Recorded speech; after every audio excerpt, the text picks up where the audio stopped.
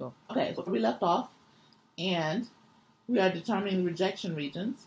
So we already know the critical values are plus and minus 1.96. So our rejection regions are going to be negative infinity to negative 1.96, unioned with 1.96 to plus infinity. Okay, and so the picture is remember that we've got our normal distribution and we've got our little um, negative 1.96 and this is 1.96 right? So the idea is that the rejection the rejection region hmm. Okay. The rejection region is going to be 1.96 to plus infinity and negative infinity to negative 1.96. Okay, so we've got that. Now our test statistic.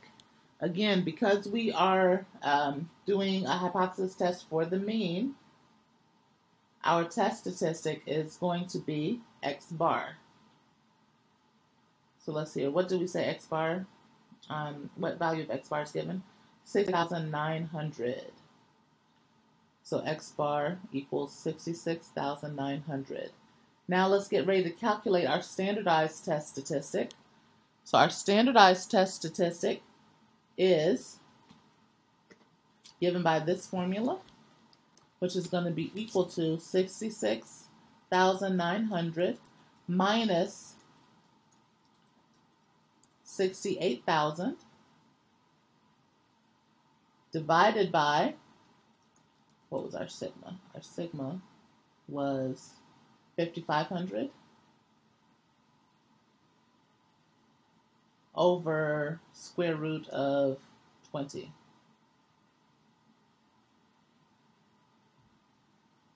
So what do we get?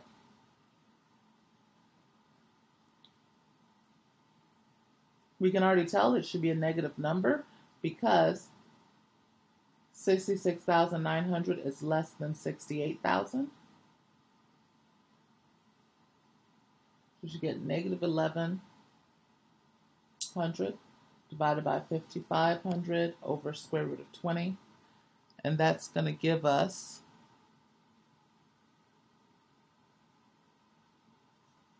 that is going to give us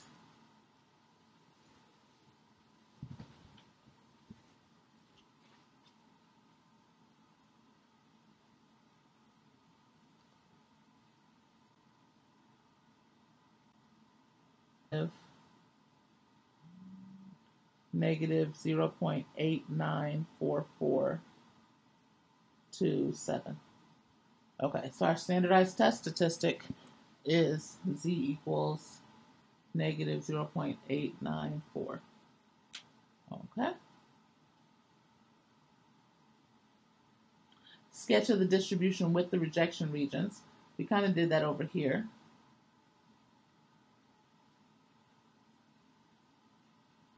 Let me just copy and paste. Okay. And if I wish I could blow it up, resize. Me blow it up. So now we've got our rejection region. And let me add a little bit of detail to this because we always want to label the mean and the standard deviations, I mean, in the inflection points, and say that this is a z distribution. So our standardized test statistic is negative 0.894, which would be somewhere, I'm going to use um, a different color here, which would be somewhere like right here right? So this would be negative, this is just a rough estimation, negative 0.8944. So our standardized test distribution is not in the rejection region, so we will fail to reject. And to interpret our decision, in the context of the original claim, we failed to reject H naught, which means there's not sufficient evidence to support the claim. There is not sufficient evidence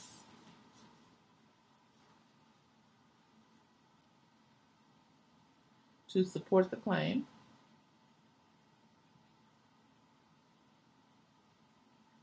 That the engineers are paid less than $68,000.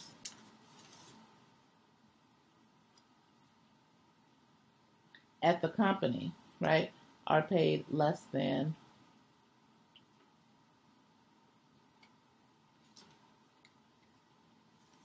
$68,000. So essentially, they took a sample of just 20 people, so maybe it was uh, 20 friends that knew each other, and said, Hey, how much money do you make? How much money do you make? And those 20 people made on average, right? The average of those 20 people, those 20 engineers, average salary was $66,900. So they're thinking, hey, man, or hey, woman, uh, maybe this is a problem. Maybe everybody is underpaid. Everyone is underpaid, right, compared to that other company. But um, fail the hypothesis test. There's just not enough evidence to support the claim that all of the engineers, that the average of the average salary of all of the engineers is less than sixty-eight thousand. Okay, so I'm going to skip going over that because we did that kind of in detail before. And let's do this example. This is our last example of uh, testing using a rejection region. So researcher claims that the mean cost of, so automatically I'm reading and I recognize this mean cost.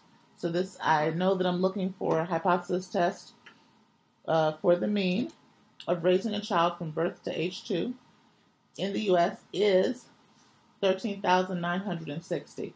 I've also been told that this is my claim. So let me just go ahead and write down that my claim is, so my claim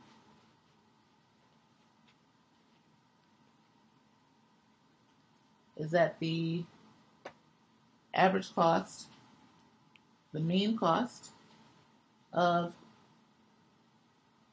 baby in the U.S. is $13,960. So I'm going to take this claim and translate it into a um, mathematical statement, which is going to be mu equals 13,960.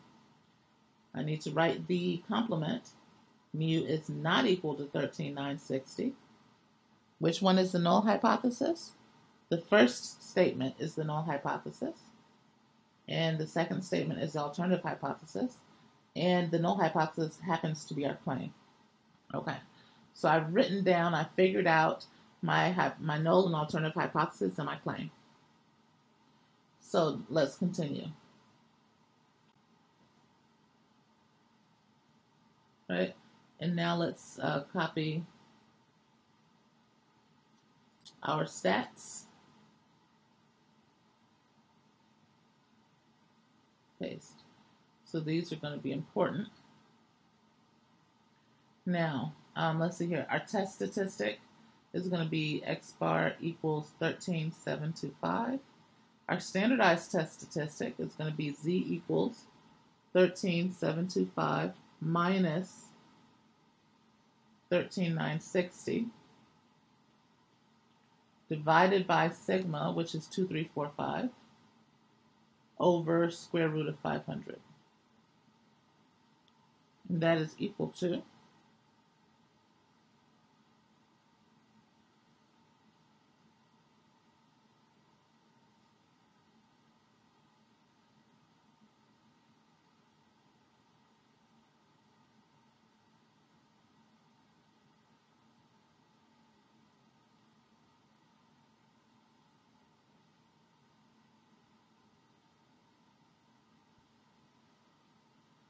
negative 2.2408. Okay. Now, uh, we need to determine our critical values.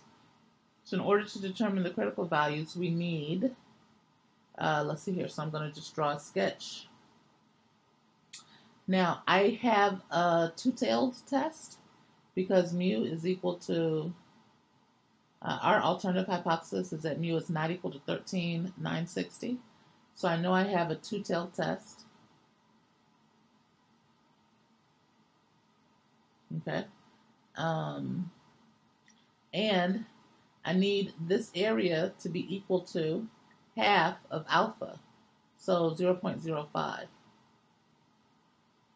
And also this area needs to be equal to 0.05. So to find my critical values, I'm going to use the syntax inverse norm. I'm going to put in the area of 0.05. My mean is 0. My standard deviation is 1. And what do I get?